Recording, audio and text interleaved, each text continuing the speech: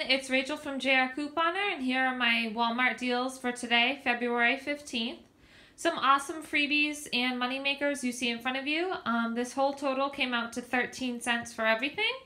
I did have a midweek money maker bonus, $5 when you spend 10 rebates. So let's get started. The first deal is on the Butterfingers. You're going to buy two of them at 88 cents. That totals to 176. Ibotta is giving a dollar back on both. That makes it 76 cents for both. The next deal is, a, is a repeat deal on the Maranatha.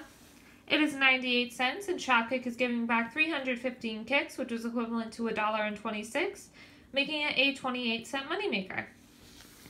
The next deal is on the Nerds Gummy Clusters. They are 98 cents. Ibotta is giving 50 cents back, making it just 48 cents. The next deal is on the Kraft Mac and Cheese. It is 98 cents. Ibotta is giving 20 cents back, making it just 78 cents. The Persil discs are $4.94. There's a $2 manufacturer coupon found in an insert. There's a $2 Ibotta rebate, making it just 94 cents. And the next deal is on the pull-ups. This is a phenomenal deal. They are $8.47. There's a $2 internet printable found um, on their website.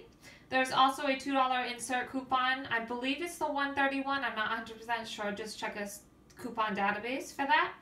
You're going to get $3 or 3,000 points on Fetch Rewards for scanning your receipt. And the Ibotta app has $2 back, making it 147 And the 10 cent off any um, Diaper rash cream does apply to this. So that comes out to 137 and it tracks towards two rebates because any item offers are tracking on Ibotta.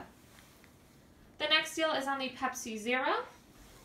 It is 178 and Ibotta is giving 178 back, making it completely free. The next deal is on the Renewzits.